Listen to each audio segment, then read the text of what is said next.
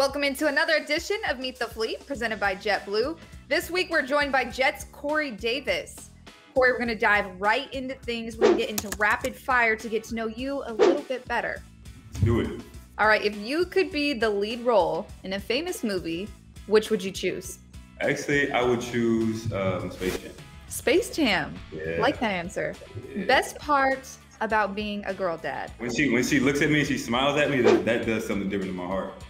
Um, she's always so happy in the morning, waking her up in the morning, and then you know when she finally sees her dad or her mom, she's so fired up, and that's probably the best part for me, just seeing how happy she is. Love that.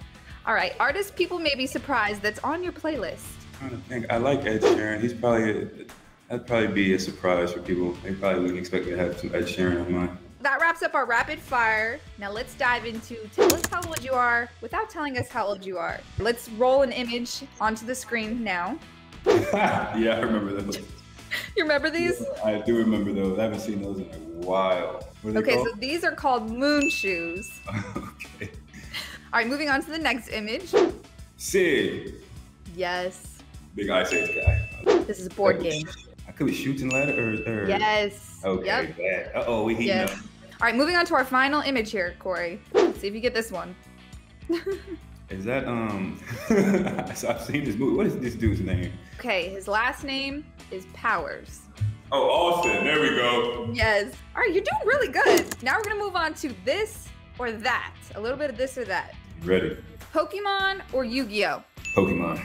Curly or crinkle fries? Curly. Xbox or PlayStation? Xbox. Come on now. Hot or iced coffee? Hot. Ice cream or froyo? Ice cream for sure. And finally, fish and chips or chicken wings and fries? Come on now. Everyone's gonna pick chicken wings on that one. I don't know many people are gonna pick fish and chips. That's a wrap on another edition of Meet the Fleet presented by JetBlue with Jet's Corey Davis.